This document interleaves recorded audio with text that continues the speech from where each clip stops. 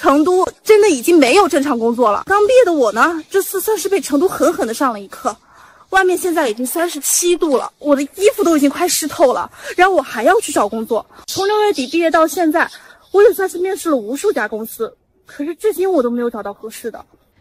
工作很难找，竞争非常激烈，有人即使降薪一半也找不到工作。这位女士之前有一份月薪过万的工作，现在降到五千，仍旧找不到合适的工作。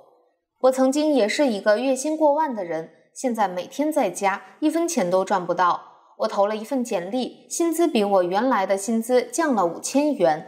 招聘者问我能不能接受，最后没办法，我只能接受了，因为我确实是找不到工作。这之后，我把简历发过去，然后对方回复我看到你的简历不太合适，我降薪五千元也找不到工作，叫我怎么办？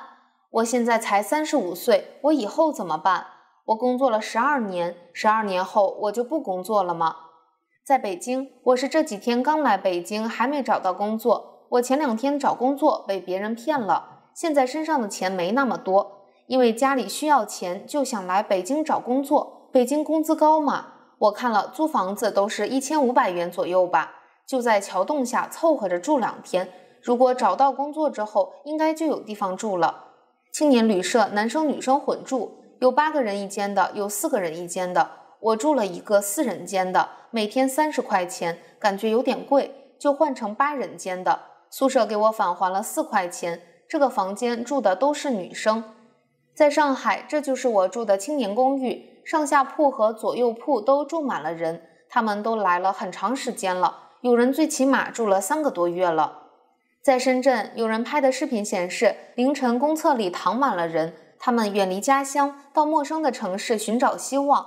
可今年的大环境不好，工作并不好找。为了省下住宿费，他们只能选择在公厕里过夜。外出打工人的辛酸，可能有些人永远也不会懂，只有他们自己知道。在中国，青年失业率飙升至历史最高水平之际，中共当局八月十五日宣布，自今年八月开始。全国青年人等分年龄段的城市调查失业率将暂停发布。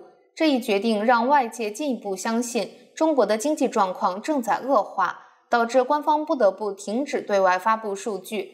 专家认为，数以千百万计的中国年轻人失业，对社会的期望幻灭，加剧中国社会的动荡。在中国统计局停止公布相关数据之前，中国城镇青年失业率逐月攀升。从今年一月的百分之十七点三一路攀升到六月的百分之二十一点三，期间屡创二零一八年有统计以来的新高。但中国国家统计局新闻发言人傅林辉表示，今年大部分应届毕业生已确定就业去向，就业形势总体稳定，毕业生就业率也略高于去年同期。青年失业率指的是年龄十六至二十四岁人口的失业率。中国从二零一八年开始统计这一年龄段人口的就业状况，但限于城镇，而不包含农村地区。七月份正是一千两百万大学毕业生走入劳动力市场的时候，当局停止公布城镇青年失业率。外界普遍认为，中共此举凸显中国失业情况比预期更为严重。据中共官媒七月十七日报道，官方预计七月这一数据还可能会继续升高。在八月份有望逐步回落。外界分析指，七月份的青年失业率恐怕高到离谱，且看不到在八月有回落的迹象。因此，中共国家统计局不得不宣布暂停发布数据。官方此前给出的失业数据高到已经令人震惊，但外界仍质疑数据的真实性。上个月，北京大学副教授张丹丹发表《可能被低估的青年失业率》一文。指出，若将约一千六百万名躺平的不工作者均视为失业，三月份中国青年的实际失业率最高可达到百分之四十六点五。也有中国境内人士估算，当前应届毕业生恐有百分之八十处于失业状态。官方暂停公布青年失业率的决定登上了微博热搜，并引爆激烈反应。仅在新浪微博，短短几小时，这一消息就引来一亿四千万次围观。一条被点赞超过五千次的评论写道：“如果你闭上眼睛，它就不存在。”一则微博嘲讽：“就好像停止了发布，瞬间就没有了失业率，问题就解决似的。还有网民说情况太严重，眼不见为净。居住在澳大利亚的中国前外交官杨澜在推特上表示，不公布数据显示出中国的经济正在持续恶化。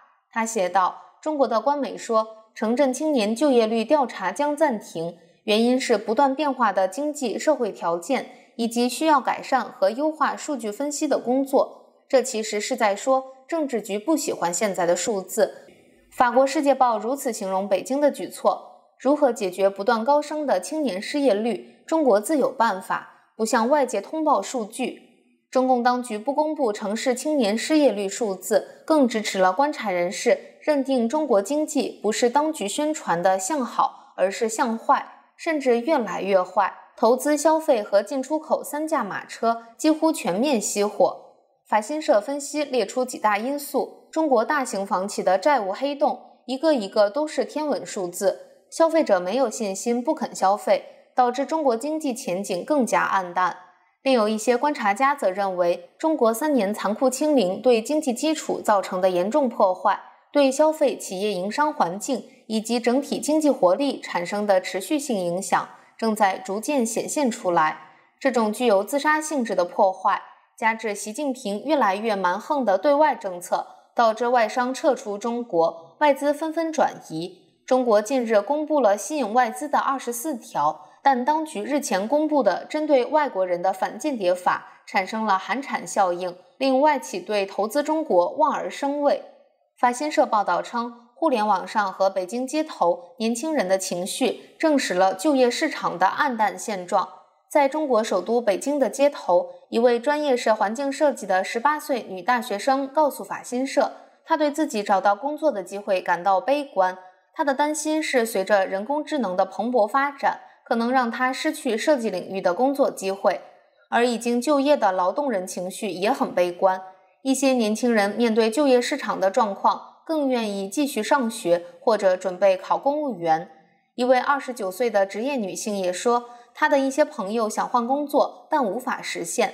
她说，有些人投了一个月的简历，还参加了几次面试，但都没有成功，薪水并不高，而且你还得经常加班。就业市场竞争非常激烈，而就在官方宣布不再公布青年失业率同一天，中国媒体《三联生活周刊》一份调查报道，实际描述许多年轻人当前困境。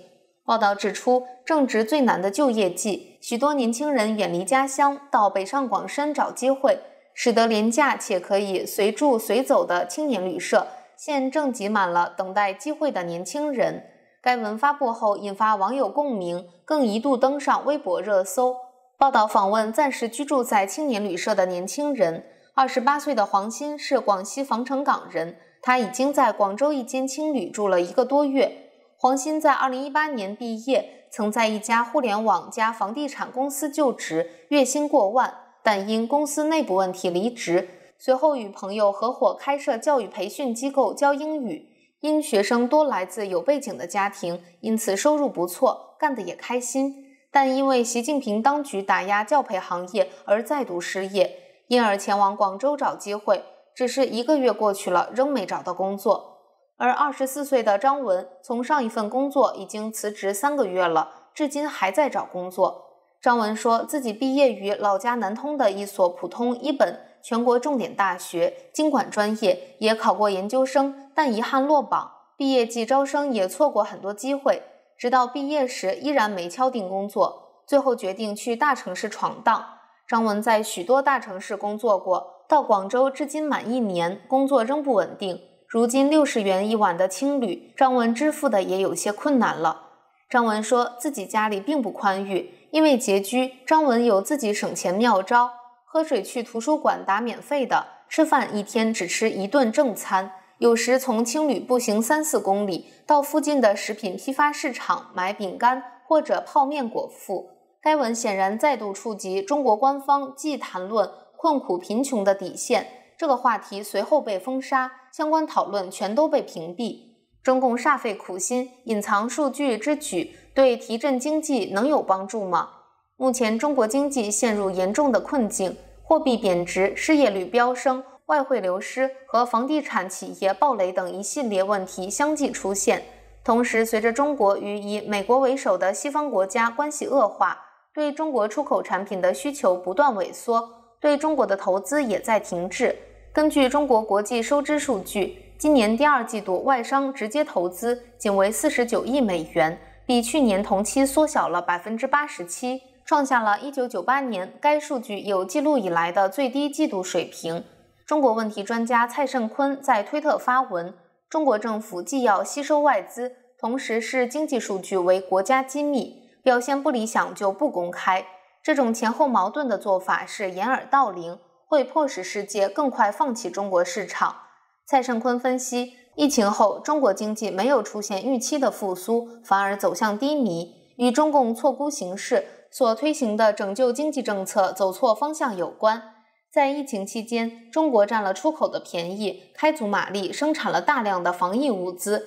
过去几年，中国一直出口非常强劲，可能给中共当局产生了幻觉，即使跟西方关系不好。出口依然会保持强劲的增长，这个世界离不开中国了，有点得意忘形。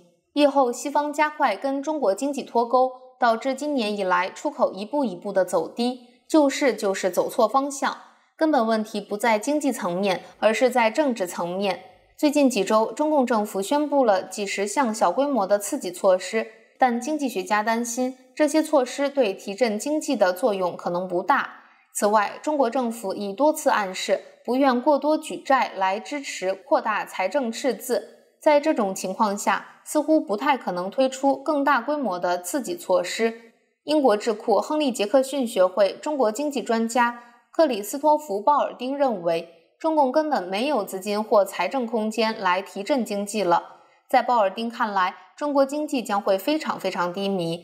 他八月十四日表示，人们需要知道。中国依靠债务实现快速增长的时代已经基本结束，现在他们只是想阻止它倒塌。纽约全球投资咨询公司亚德尼研究公司总裁爱德华·亚德尼的预测更为具体。他说，中国经济将陷入经济停滞，很可能在未来十年、二十年。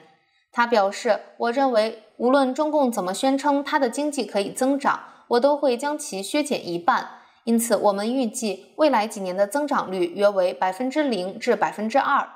中国的青年失业率在过去四年中翻了一番，期间习近平实施的严格的清零政策重创中国经济。此外，近年习近平将矛头指向中国民营企业，对科技和其他公司进行监管整顿之后，令一直不振的中国经济雪上加霜，就业形势更加恶劣。中国目前数以千百万计的青年没有工作，许多年轻人心灰意冷，选择退出就业市场，宁愿躺平。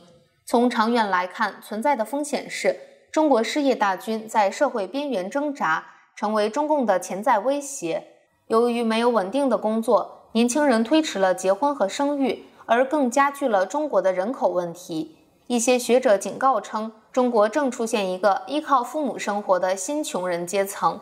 这可能会加剧破坏社会稳定。在任何一个国家，若青年人失业率超过百分之二十，都是重大的社会问题、政治问题。中共原来是搞群众运动、搞青年运动来起家的，所以在青年问题上，他会防范，其恐惧心理非常突出，会不惜任何手段都要把这个问题控制住、按住。中共害怕青年高失业率公布出来后，又燃起青年人的怒火。成为一个反抗中共暴政的导火索。二零二二年十一月，中共极端的清零政策引发全国性大规模抗议。这些抗议者大多数是青年人，他们甚至直接喊“习近平下台”和“共产党下台”的口号。清华大学社会学家孙凤最近在中共旗下一个知名网站上发表评论文章称，由于新穷人长期生活在被排挤、被遗忘、无聊和孤立之中。易怒、反社会和暴力情绪成为他们的主要精神状态，也将成为自身社会不稳定的主要因素。习近平面对失业大军也是束手无策。他表示，年轻人需要挺起脊梁迎接困难。这位曾在文革时期下乡劳动的领导人说：“如果他们找不到理想工作，就应该到工厂一线工作，或者到中国农村从事扶贫工作。”独立时评人马炬对美国之音说。青年失业潮将酝酿更大的社会危机。习近平如同在正午街头晒火药，每个人都知道迟早要爆。台湾经济专家黄世聪表示，中国的经济真的到了一个没有改变就走不下去的局面，但是偏偏现在的政策又没办法改变，变成一个死局。除非你重新放弃跟欧美对抗这个政策，但是问题是不可能做到。黄世聪表示，习近平强调政治意识形态不变，中共现有体制没办法抛开，经济当然就不会好转了。